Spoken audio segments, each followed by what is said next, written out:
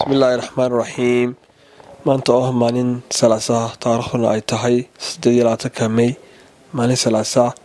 Waxaanu halkan aan ku soo boqonay xamda sheikh cabdalla oo ah aasaasaha iskuulka lagu magacaabo greater learning center oo ku yaalla bariga magaalada london ama koonfur bari baanahno magaalada london xaafadda olkent road.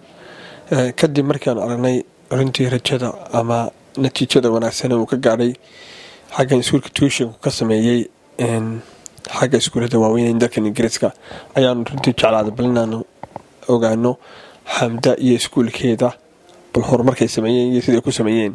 Si dadka kale soomaalida ee dalkan degan ay uga faa'idaystaan iminkaas waxay arkaysaanba xamd way hor fadhidaa insha alla waxaan doonaa bal inay waranto bal asaaskii iskuulkan iyo bilowgiisii iyo waxyaalihii runtii ku kalifeynaya runtii waxaad samayso. Xamda fadal.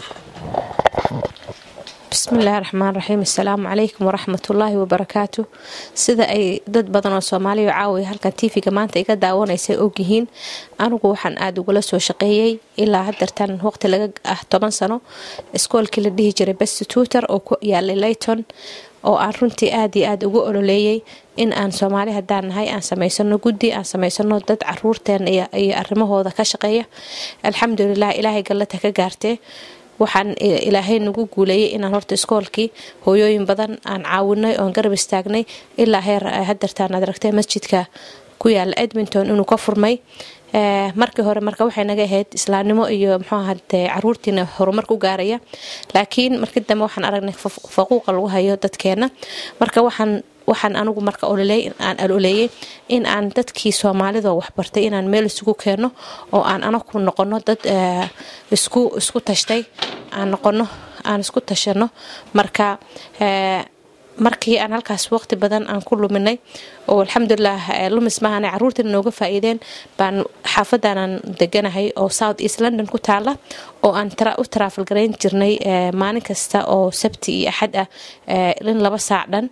Baan waxaan decide gareeyay in aan hooyooyinka aan u soo dhaweeyo serviceka ay u doonanayaan meelaha dheer saacadaha u soconayaan dadkii gaariga wata qofkii aan gaari wadana dee kaba sii badan afar saac saddex saac shan saac bay qaar gaaraan waqtigaasho ay taraafiku jirto. Halkan baan marka keenay. Alxamdulilah anagoo kaashanayna dadkeena waxbartay iyo risoosyada wadanka yaalla iyo wixii kale aan awoodno. Marka meesha waxaan u furnay dadka soomaaliyeed inay ka faa'iidaystaan caruurteenana aan mxua waxbarno the same time inaan caruurteena aan soomaalida caqliga ku jira ayn ahayn inuu ajnabigu markasta wax yaqaano. Laakiin ilmaheena ay helaan role model oo dad caruurteena soomaaliyeed oo waxbartay oo wadankan shahaadooyinka buuxoojidadka la fadhiyo. Inaan maalin kastana laga gedin hindi bakistan kala yimi shahaado ama kala yimi hindiya. Laakiin caruurteena dadka waxbartay xooga la saaro oo aan dadkii la keeno inay yani meeshii caruurtii wax la baro ileen dhaqankii iyo wixii bay isla garanayaan. Marka taas ay u kalifteen iskoolkan furo. Walilaahi alxamd intii yareed aan furnayn waxaan gaarnay natiijooyin aada u fiican oo aabad arki doontiin insha allahu tacaala carruurta imtixaanka galay inay e iyo e star keeneen. Ogaada ee starkaasi eedaasu ma aha hindi kaliya waxay keeneen. Waa caruurteeni baa dadka waxbaray gabdho soomaaliya oo macalimiin ah waa noo jooga. Oo maasha allah waxaan ku iri say wax u baraan carruurta waqti uma eegaan uma eegaan muxuaha tacab. Intuu ilmahaasu imtixaanka iyo ka dhammaynayo way garab taageen. Xataa markuu guriga aadaan taleefanaday wax ugu sharaxaan kii fahmi waayo marka waa wax qaaliya ee soomaaliya aan isku tashanno. Sidii dukaan yaroo muxuaha meel laga furay. Waxay ku tartamaan qoladan timajileedu hagee ay soomaalidu ku badan tahay soomaalidu hagee ku badan tahay saan iskool uga furno. Dadkeenina jahaadooyinka watana banaanaday fadhiyaan. Marka waxaasu caqligal ma aha aan isu nimaano aan isku tashano soomaaliye.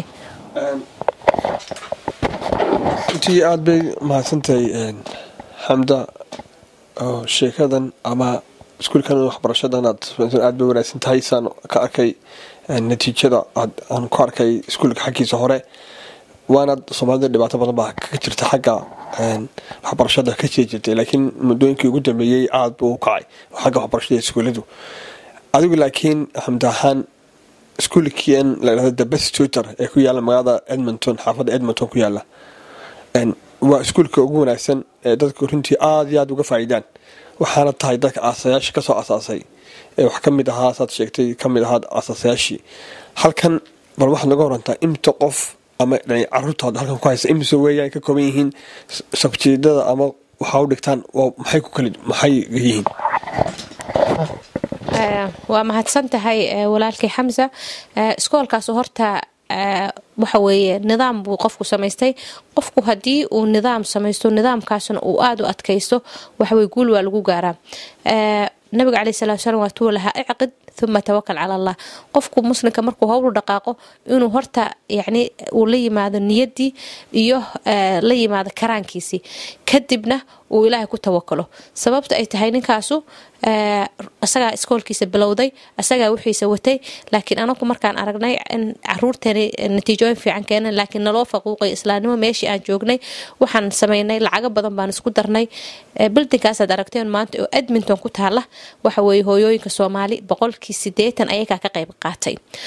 Waana ku mahadsan yihiin sababtu ay tahay qofka baniaadanka markasta lama dhaho aniga wax kasta sameeyey ama khasaare ahayd lacagtaasu khasaaro ma ahayn tacabkii hawsha aa galnay wax alla xaggiis noo jirana wayyihiin wax caruurteena maanta aan ku aragno ku faanana wayyihiin sababtay tahay ilmahii soomaaliyeed qaar badan baa waxay ku jiraan jaamacado wanaagsan. Marka sistamkaasu haddaan soomaali nahay dad sistamkaasi ka fiican dhisi karahabaa jooga. Boqolka iyo sideetan boqolkii sideetan dadka jooga nigama waxbarasho fiicna laakiin waxa weeye waxay la yimaadeen niyaddii iyo dadaalkii. Marka soomaali ceeb waxaan ku dhignay intaan wax bilowno ayadoo dhex maraysa ka tegaynaa. Taasuba taasuna waa ceeb ay soomaali leedahay. Anugu waa anu horeeye laakiin waxaa loo baahan yahay sidii aan isugu dhabar adeegno inaan isku caawino inaan mxuaha kii niyad jaba niyadda loo dhiso in markastaba aan mxuaha qofka kale qofka kale uu support u noqdo. Sababtay ta ayaku waxay rabaan from head to tos in ayaku meel kasta taagayihiin waxay rabaan kan nadiifinaya kan wax dhigaya kan xisaabinaya kan maxaa lacagta qaadaya inuu ayaka ahaado. Cid kale ma raba inuu soo dhex galo. Marka anaka maxaana jeclaysiiyey ajnabiga iyo dadka kale marka waxaan u baahnay inaan isku tashano caruurteenuna su'aasha ay warsatay. Caruurta waxaanu hadeer maraynaa laba boqol iyo koo iyo toban ciyaala sida aan rekoorkaba kaa tusay oo aan waqtigooda ononof yahay. Laakiin alxamdulilah caruurtii imtixaanaadka january noo galay sida reportkaba ku soo aragtay natiijooyin fiican bay keeneen oo a iyo a stara marka staaradaasi iyadaasaad aragteen waxa weeye waa mid ay soomaali shaqayso weeye. Ma aha mid hindi kaligii soo haddii aan ku soo noqdo su'aasha ahayd imise arday baa hadeer haysiin oo dhigata waxaan haynaa laba boqol iyo koo iyo toban sida aan kugu tusay kombyuutarka markii aan kaa tusay registering formka. Waxayna kala dhigtaan biology chemistry physics iyo math iyo english bay kala dhigtaan. Marka waa saddexda subject oo syniska iyo math oo ilaa feather math qofka raba iyo english. Bay dhigtaan from year one kchester one ilaa a level. Maxaaha ilaah baa noo joogta. Sida aan horena u sheegay dadka carruurta natiijooyinka wanaagsan keenay waxaa ku jira ama macalimiintooda waxa ka mid ah gabdho soomaaliya oo maasha allah aad iyo aad carruurta u horumariyay oo carruurta aad iyo aad u caawiya waa si wanaagsan xagga waxbarashada. Saan markii horeba sheegnay waxbarashada halkan dadka soomaalida ee degan london ama u k baan nahno aada bay runtii sanadii ugu dambeysay aada ugu kaceen taasoo keentay in dadka waalidiinta dhalay oo runtii ka fursan waayay inay caruurtooda dadaal u sameeyaan maasha allah rajadiina way ka muuqatay ama natiijadii ka soo baxdayna aada way wanaagsanaatay adiguna sidaas leeg xamd ahaan runtii aad baan kugu mahadnaqaynaa. Waxaana ilaahayna kaa siin doonaa. Su'aasha ugu dambeysaan ku weydiinay waxa weeyaan dadkeena soomaalida ah ee dalkan ingiriiska degan marka runtii qof wax way isku daydaan waana mid wanaagsan. Laakiin iskuolkii la yidhaahdo best tutor ee edmonton soomaalidu aada ugu badan tahay. Iyo iskuolkan waa maxay faqriga u dhexeeya iyo waa maxay waxa higsan idinka hiisigiina higsanaysaan futureka? Waa su'aal wanaagsan xamsa walaal. Horta waxa weeye farqi uma dhexeeyo iskoolkan iyo iskoolkaas sistamkii dadkii dejiyey sidii lagu dejiyay wuu halkan ku degsan yahay. Laakiin soomaalideenu wax cuqdad bay leeyihiinoo hadduu qof meel tago waxay wada raacaan dadka badankood. Ayagoo aan waqtiga u xisaabnayn carruurta waqtigu daalnaya u xisaabnayn marka horta meeshii tuushanadii way isku badato labadii xaafadba midbaa hindidu ka dhex furato waxay eegaysaa soomaalidu meesha ku badan tahay. Marka waxaa loo baahan yahay laakiin hooyada soomaalida ah inay fahanto waxaan la barayo carruurta waa one subject baa la barayaa waxaa la barayaa curriculum hal curriculum baa la baraya yani ama hal manhaj baa la barayaa qof manhaj jeebkiisa kala soo baxaya male haddii aad heshid ilmihii oo caqli nadiifa leh iyo waqtigii aad ilmihii u ilaalisay iyo macalin si fiican u fahansiiya intaas way inta aad u baahan tahay.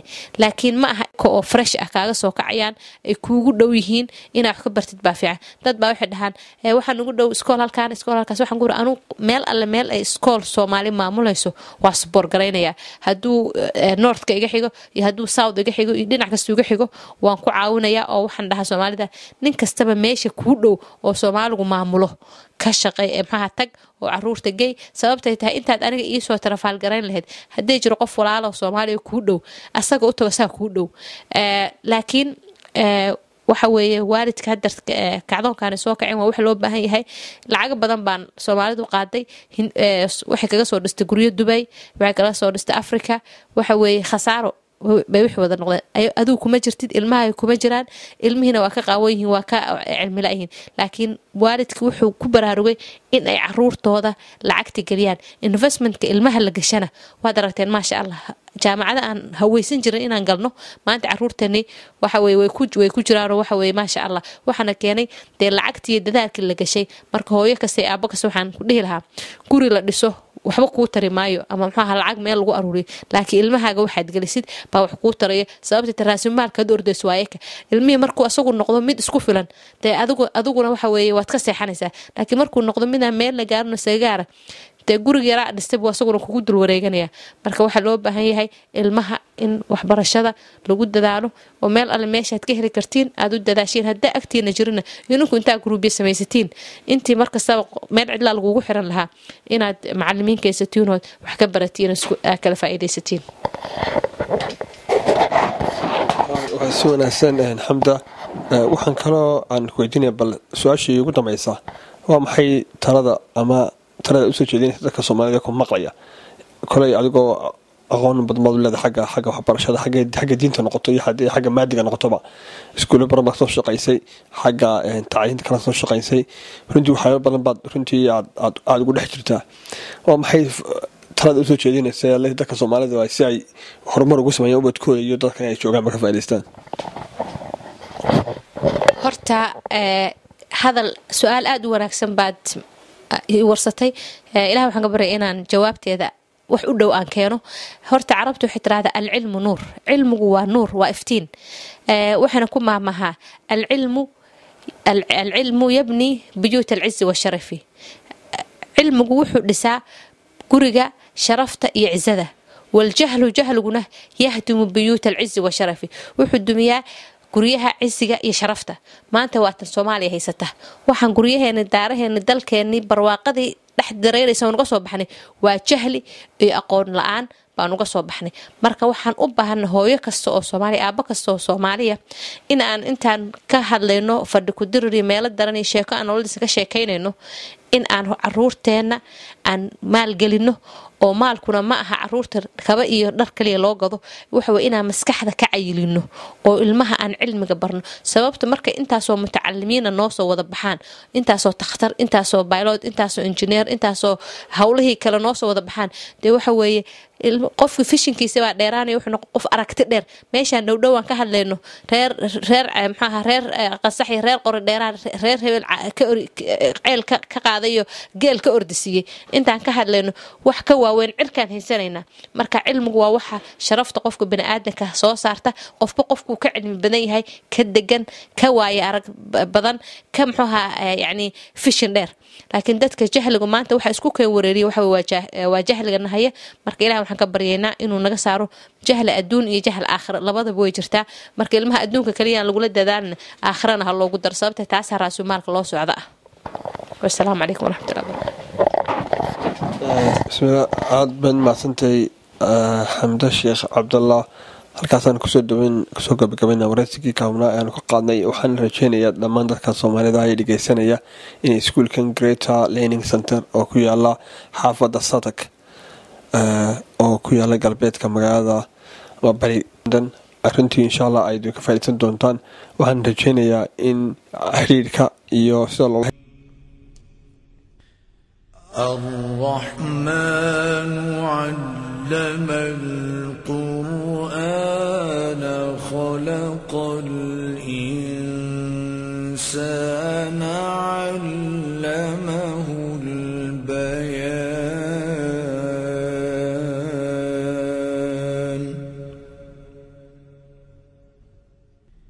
الشمس والقمر بحسبان والنجم والشجر يسجدان